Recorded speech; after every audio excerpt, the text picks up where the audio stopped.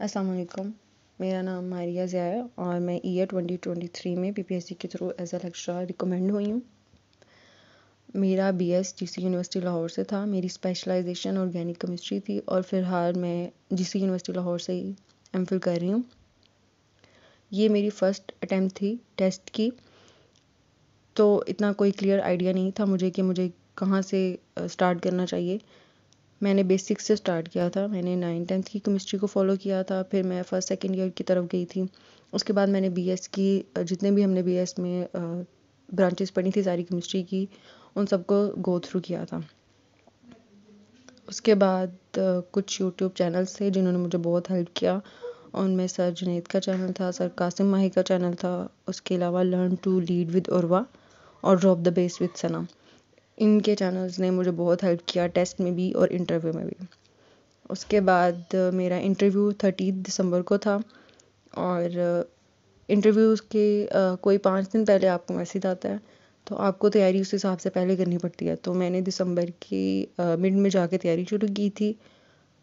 मैंने जो है, जितने नोट्स बनाए हुए थे टेस्ट की तैयारी के लिए, उनको पहले रीड आउट किया था सबको। उसके बाद मैंने अपनी स्पेशलाइजेशन को अच्छे से करके गई थी क्योंकि वो इंटरव्यू में आपसे कुछ भी पूछ सकते हैं। इंटरव्यू में जैसे ही मैं एंटर हुई, मुझे चेयरमैन ने कहा कि वेलकम टू बीपीएससी बेटा। उसके बाद उन्होंने थोड़ा मेरा इंट्रो लिया मतलब थोड़ा सा पूछा कि, आज, आप आजकल क्या करती हैं? मोस्टली मेरा इंटरव्यू उर्दू में हुआ था। उन्होंने मुझसे पूछा कि, आप आजकल क्या करती हैं? उसके बाद उन्होंने कहा, बेटा, आपको फैटी एसिड्स के बारे में पता है।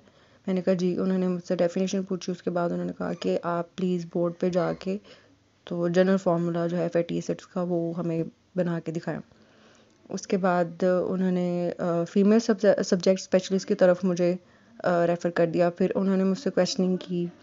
उन्होंने पूछा कि आपने एनालिटिकल केमिस्ट्री पढ़ी है?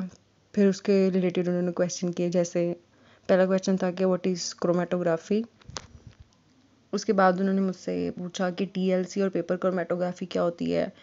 उसके बाद दोनों में डिफरेंस पूछा। फिर उसके बाद उन्होंने कहा कि what type of interaction interactions are responsible for distributing solute and solvent on the paper chromatography उसके बाद वो, जैसे मैंने आंसर दिए वो सेटिस्फाई हो गई थी। उसके बाद जो उन्होंने मुझे फ़ी मेल सब्जेक्ट स्पेशलिस्ट बैठे हुए थे, उनकी तरफ़ रेफ़र कर दिया। वो जो थे, बहुत सीरियस टाइप के थे। उनके एक्सप्रेशन नहीं बदल रहे थे। उन्होंने मुझसे बहुत कम क्वेश्चनिंग की, लेकिन बहुत ज़्यादा उन्होंने मुझे कंफ्यूज किया। उन्होंने क्वेश्चनिंग बहुत इजी थी। उन्होंने पूछा था कि difference between hygroscopic and deliquescent with examples मैंने बता दिया उसके बाद उन्होंने पूछा कि why let is place in two groups ये आर्ट एनालिसिस में से उन्होंने पूछा था।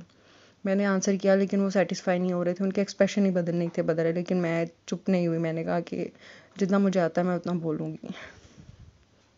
उन्होंने काफ़ी ट्राई की कि बच्ची कंफ्यूज हो जाए। लेकिन मैं कंफ्यूज थी ऑब्वियसली इतना जो है एजुकेटेड पैनल होता है आप उनके सामने ऐसे ही नहीं कुछ भी बोल सकते। तो ये सब अल्लाह ताला की तरफ़ से ही होता है। फिर उन्होंने तीसरा क्वेश्चन किया कि अमाइनो बेंजीन जो है वो डायरेक्टली बेंजीन से बन जाती है। तो मैंने कहा, नहीं। उन्होंने कहा कि, क्यों नहीं बनती? तो मैंने कहा कि डायरेक्ट रिएक्शन नहीं होता। पहले नाइट्रोबेंजीन बनती है, फिर उन्होंने मुझे कहा कि आप रिएक्शन प्लीज़ जो है वो लिख के दिखाएँ। मैंने उनको लिख के दिखाया। उसके बाद भी उनके एक्सप्रेशन ऐसे थे कि जैसे मैं गलत बता रही हूँ। उसके बाद उन्होंने मुझसे बस आखिरी सवाल किया था वो था कि tell is the full form of वापटा यहाँ पे आके मैं कंफ्यूज हो गई। मैंने बोला कि वाटर एंड पावर उसके बाद मुझे डी ए का कंफर्म नहीं हो रहा था। तो मैंने बोल दिया सॉरी सर तो चेयरमैन ने कहा इट्स ओके बेटा, आप जा सकते हैं। इस मोमेंट पे मुझे लगा था कि मे बी मतलब मैं जो है सिलेक्ट नहीं हो पाऊँगी। लेकिन जो अल्लाह को मंज़ूर होता है, वही होता है। बस इंसान को अपनी मेहनत को जो है, वो जारी रखना चाहिए। उसके बाद अल्लाह पे भरोसा होना चाहिए, दुआएँ होनी चाहिए और तैयारी अच्छी होनी चाहिए। बेसिक्स जो है, वो आपकी क्लियर होनी चाहिए। उसके लिए आपको nine tenth first second year की केमिस्ट्री बहुत अच्छी तरह आनी चाहिए।